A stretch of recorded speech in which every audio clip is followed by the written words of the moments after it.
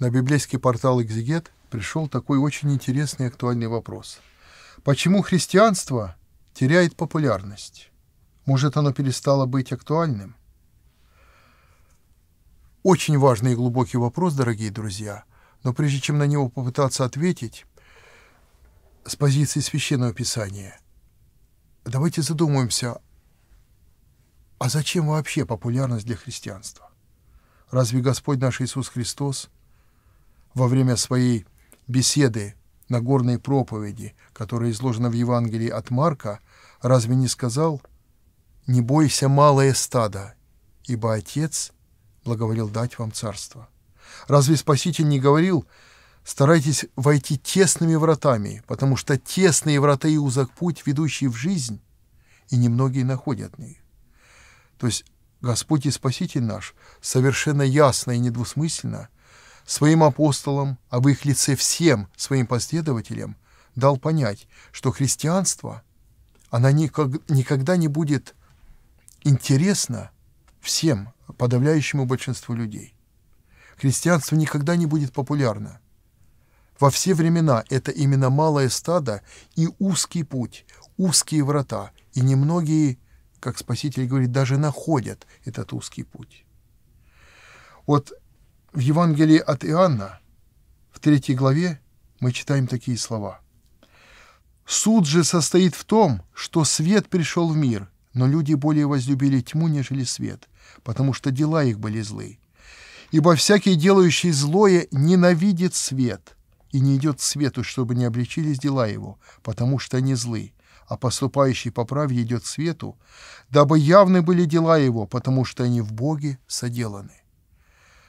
Вот здесь, в этих словах, Господь и говорит нам, приоткрывает нам эту тайну, что большинство людей все-таки не идут к свету, чтобы не были обличены дела их. Господь не только заранее предупредил всех своих последователей, что они будут сравнительно малым сообществом в окружении множества других людей. Вспомните слова э, Спасителя, где он, посылая своих учеников на проповедь, говорит, «Я посылаю вас как овец посреди волков. И так будьте мудры, как змеи, и кротки, как голуби. То есть посылаются овцы в окружении волков. Или в другое место Священного Писания, где Спаситель говорит, что вы — соль земли. Что такое соль? Много ли надо соли для того, чтобы осолить э, какую-нибудь трапезу? Совсем чуть-чуть. Но без вот этой соли трапеза будет терять свой вкус. Соли надо совсем немного. И христиан всегда было сравнительно немного.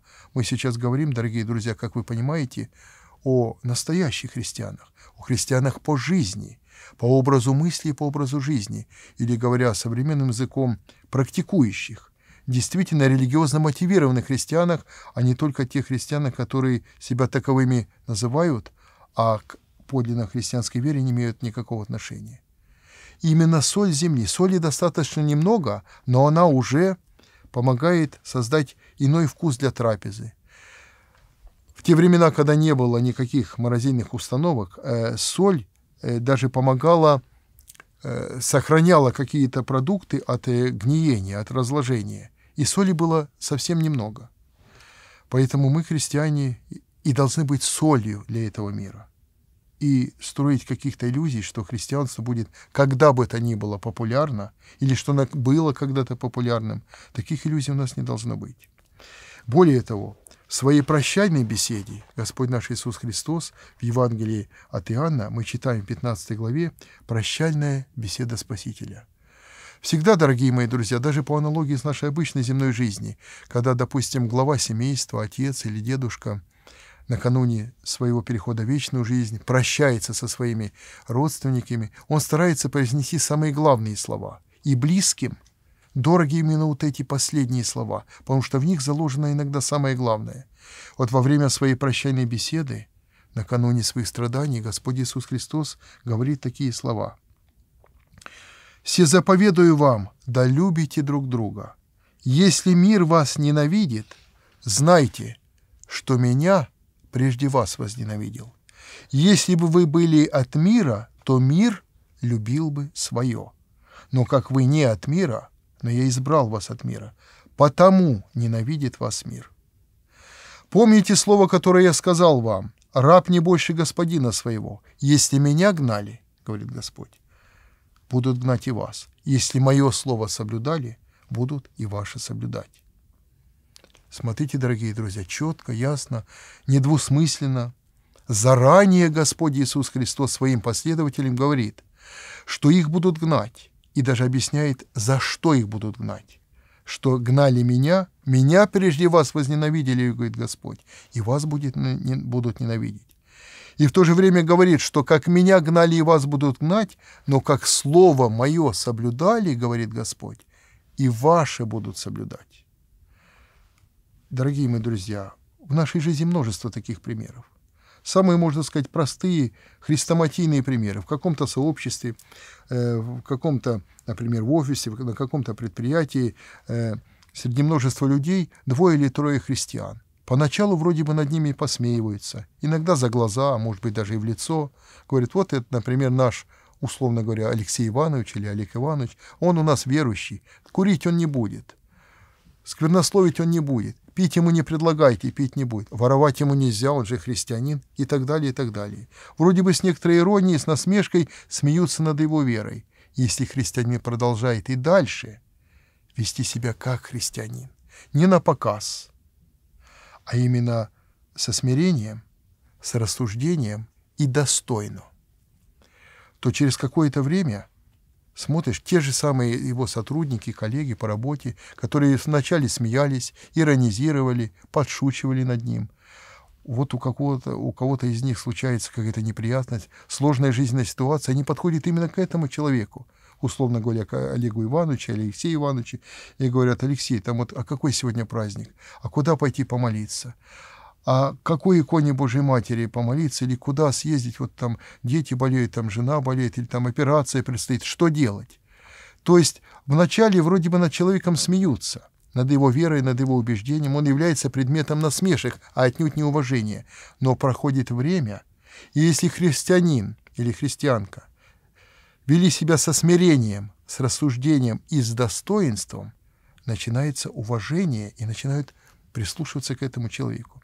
Поясним, дорогие мои друзья, что значит со смирением, с рассуждением и с достоинством.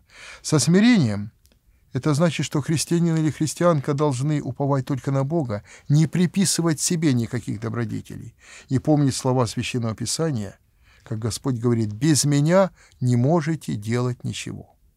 Все, что я делаю доброе, это только от Бога. Все, что я могу только помыслить доброе, это тоже от Бога. От меня только немощи и грехи если именно так старается христианин себя вести.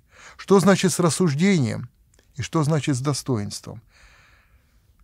С рассуждением это значит, в любом сообществе христианин должен помнить вот этот мудрый святоотеческий совет. Думай, что говоришь, кому говоришь, когда говоришь, при ком говоришь и какие могут быть последствия.